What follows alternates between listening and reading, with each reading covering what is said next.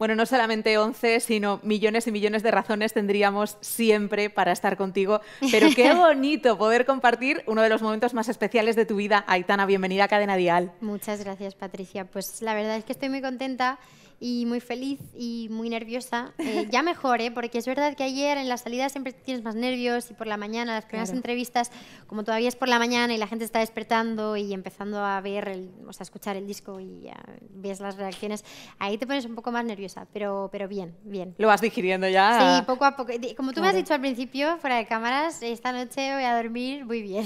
Vas a caer así, ¿no? que no lo sé. La, esta, o sea, la noche de antes de las entrevistas y la del estreno he dormido una hora, yo creo. Madre mía, pobrecita. bueno, pero todo sea por algo tan bonito como el lanzamiento pues de estas 11 razones. Luego me imagino que precisamente en la cama estarás con el teléfono que, yo no sé. ¿Llevas gafas tú? Yo llevo gafas. De hecho, no me he puesto las lentillas y por eso a veces hago como así de lejos, lo siento. Es que cuando estoy mucho rato con las lentillas, me, de verdad, se me, como que me escuecen los ojos. No me extraña. Entonces, luego me las pondré. Y sí llevo gafas, pero no de cerca, de lejos. Entonces, por la noche no me hace falta. Ah, vale, vale. Si es para el móvil, no me hace falta. Claro. Te iba a decir, porque ya con todo lo que llevas, hola, soy Patrick, ¿qué tal? ¿Me Claro, no. O sea, a, partir de ahí veo, pero ya un poco más lejos no. Ah, bueno, Un poco más lejos ya me está costando. Nada, ¿eh? me quedo aquí, me quedo aquí. Sí, sí, sí. Oye, enhorabuena lo primero por el disco, es una belleza, es una preciosidad. Muchas gracias. Fíjate, eh, el hilo conductor está claro, es mm, un mensaje de vamos hacia adelante a pesar de que algo duela, a pesar de que algo sepamos que no tiene que estar en nuestra vida. Cuando tenemos algo que sabemos que nos sobra, ¿hacen falta 11 razones o con una solo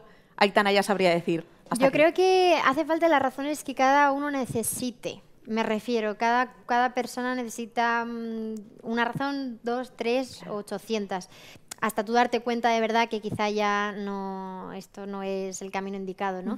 Pero yo creo que cada, es, es cada uno se da cuenta, pues, es que en un momento distinto. Claro, es que cada persona yo ahí no me meto. Desde claro. Yo he estado 11 en este disco. que no está mal. Que no está nada mal. Entonces, bueno. Claro. Fíjate, a mí me, me resultaba también muy entrañable porque hay muchos psicólogos y psicólogas que te dicen, eh, bueno, pues cuando sientas un poco de rabia, escribe lo que te pasa, ¿no? O cuando estés un poquito regular, escribe lo que eso Yo también lo hago muchas veces, a veces cuando, no sé, por las noches no me puedo dormir o lo que sea, a veces escribo sin necesariamente sin que sean canciones. Vale, hay que ya llegar. No, no, o sea, yo escribo canciones y también escribo, pues, notas de esas, o yo ¿eh? qué sé. Sí, pero porque es súper, no sé, Tranquilizador. Sí, además me, luego duermo mejor, ¿sabes? Como, no sé, eso va muy bien. ¿Llegarían a ser un libro de poemas de Aitana, por ejemplo? ya saqué uno. Por pero eso. No, la verdad es que no, o sea, estas son demasiado ya personales, no son tan, sí pero bueno, tampoco nada dramático, me refiero, a lo mejor estoy agobiada porque en tres días saco una canción y no me puedo dormir por eso. Pues empiezo a escribir cómo me siento, ¿sabes? Cosas así como que me... A modo diario, ¿eh? Qué bueno también. Sí, sí, no lo hago muchísimo, pero cuando no me puedo dormir sí que lo claro. hago. Bueno, supongo que también eh, escribirás lo emocionante que está siendo compartir este disco con un montón de artistas que colaboran contigo. Está Beret, está, bueno, qué maravilla, Natalia Lacunza, por favor, esa canción. qué gracias, ha gustado mucho esa canción, me alegró un montón, desde luego. Yo buscaba una coloración femenina en cuando te fuiste porque al final como que tiene más sentido, ¿no? Es más... como empoderamiento, solidaridad y empoderamiento de ya ¿cuándo vas a entender que me has perdido? Como que ya está, ¿no? Claro. Y es muy guay. Y Natalia se lo pregunté y, me, le gustó, me aceptó y ahí está. La verdad que muy guay. Muy y, de, y de toda la lista maravillosa de colaboraciones del disco, ¿con quién has conseguido eh, tener, por ejemplo, más relación profesional de que os estéis enviando por WhatsApp? Tengo una nueva canción, preguntar.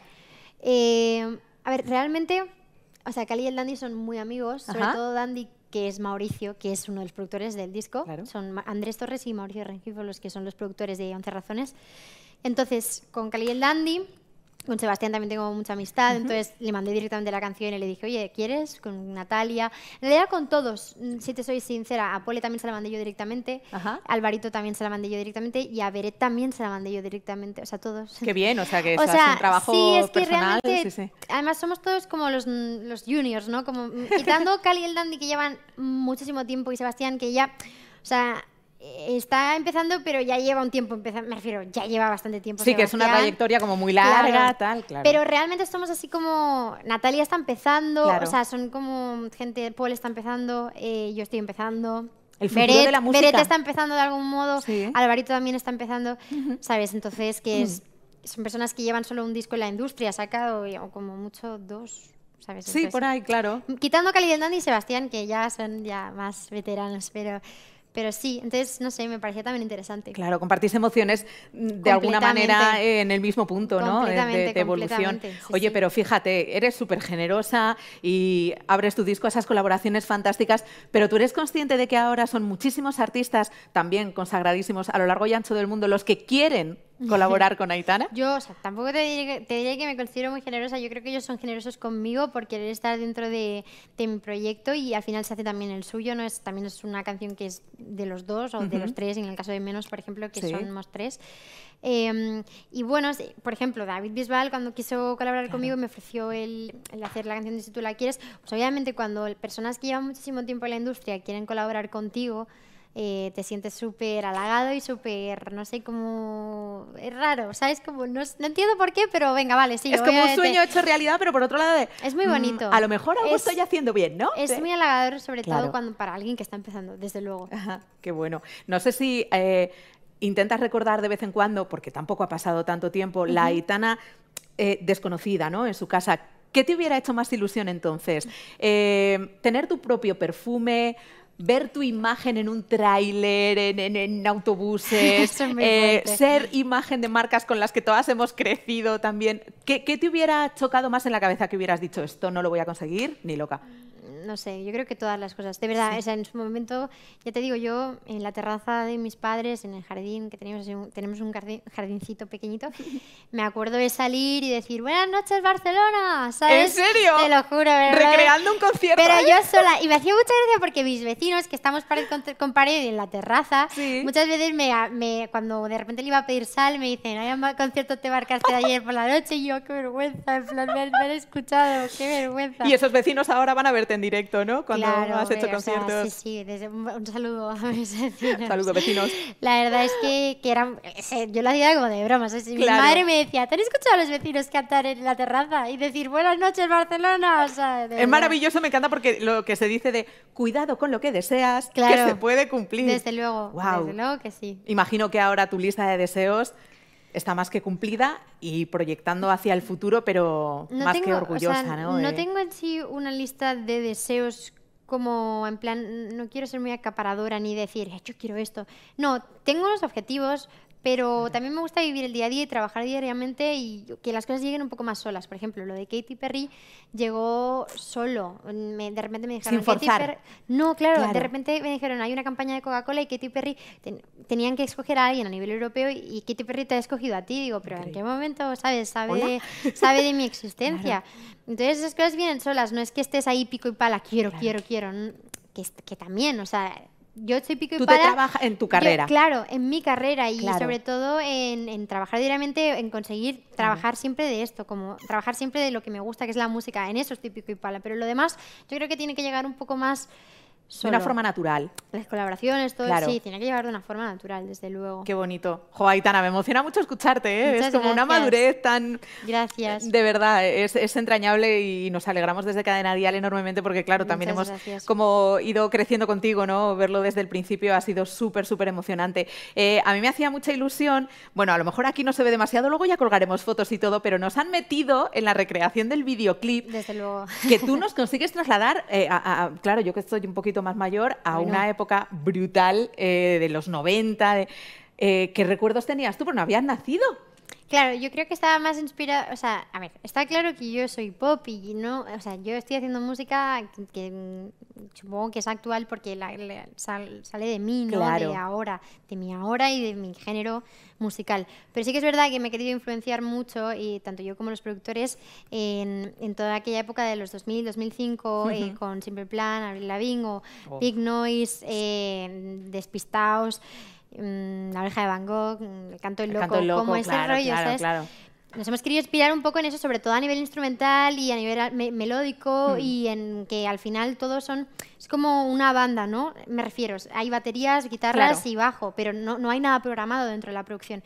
Y eso. Pues, es pop rock, es que, claro. Claro, o sea, me da miedo, ¿no? Como decir literal, pop rock. Ya, claro, sea, no, etiquetas. No, no, no, me, no quiero que nadie piense, ni mucho menos que. Bueno, es que no creo que nadie lo piense, que, voy a ser a la rockera. Ya me gustaría ser a mí una rockera así. Bueno, pero lo que te nace, vamos. vamos. Pero sí que he cogido un poco de influencia de esa, de esa época y claro. pues fusionándolo un poco con lo que yo soy y, no sé. Y el resultado es fantástico, desde luego que lo has conseguido.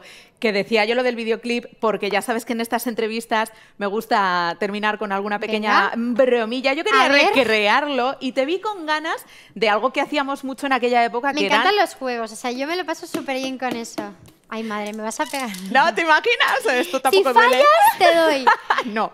A mí lo que me encantaría es que precisamente me dio mucha mm, ternura decir, jo, qué guay, cuando hacíamos grafitis y tal, pero te vi como que te quedaste con ganas. Sí, venga. Yo, De hecho, yo, o sea, quiero que sepa todo el mundo que el graffiti de, de 11 razones en el videoclip lo hice yo. A ver, está, para alguien que sepa hacer graffiti se va a estar riendo en mi cara. ¿Qué va? chica. ¿Qué va? ¿Qué pero es verdad que lo hice, lo hice así como mal hecho y luego nos gustó, así que estuviera como mal hecho, tanto que lo hemos puesto en el merchan y en un montón Está, de ¿eh? cosas, literalmente. Pero lo hice yo en el momento así como rápido. Pues enhorabuena. Claro, yo te lo iba a pedir a ver si conseguimos que esto se quede más o menos recto. A ver, dame, yo te ayudo. Que, eh, pintases precisamente lo que sientes ahora. Cuando 11 razones ya es una realidad, cuando ya es un éxito brutal, lo haces mejor que yo, hija. Venga, dale tú ahí. Espera, espera. Negro y dorado, los colores están bien, ¿no? Venga, sí.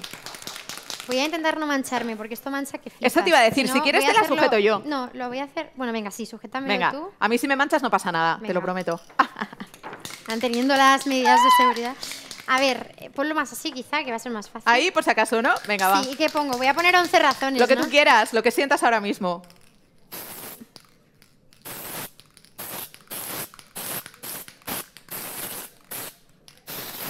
Encanta. Eres una grafitera de pro, pero... ¿eh? Está fatal. Lo siento, es que es muy difícil y no sé si me he manchado. No, no te has manchado, yo creo que no. 11 razones. ¡Eh, qué bueno! Oye, qué bonito, mira, me lo voy a llevar y lo vamos a poner en la redacción de Cadena Dial, ¿qué te parece? Venga, ¿Sí? es un poco patético, pero, que, va? pero que si lo queréis para vosotros. Me encanta, porque esto siempre recordaremos que ha sido pintado en el día más emocionante de tu vida, Aitana. Desde luego que Hombre. sí, madre mía, me ha manchado toda la mano, pero ¿Te no pasa nada, todo bien, todo bien. Todo bien, vale, ahora limpiamos. Esto se va en un momento, ni Seguro. Mira, pues entonces... Vamos a terminar de otra forma que también me hacía muchísima ilusión, porque te he visto ahí con una tarta. Digo, una tarta ya me daba como más apuro, ¿sabes? Entonces vamos a hacer una cosa. Esto es una locura, ¿eh? Esto es una locura, lo sé. Pero vamos o sea, ¿me lo puedo comer en plan, ¿está bueno o esto? Está buenísimo, recién comprado.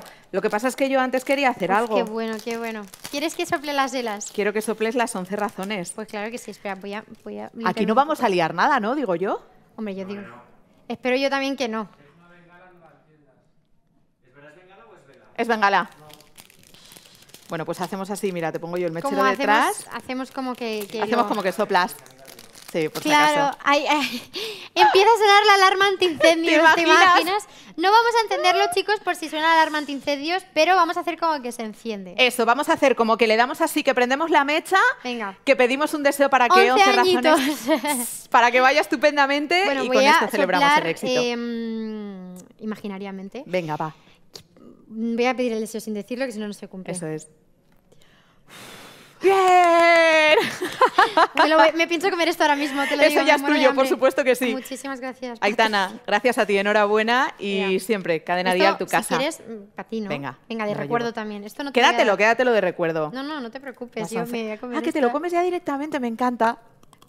Si es que tanta promo, no me mm, extraña. qué hambre. Está relleno de chocolate, bien, ¿no? Dios, qué rico. Un placer, bonita. Gracias por todo, Aitana. Gracias a ti.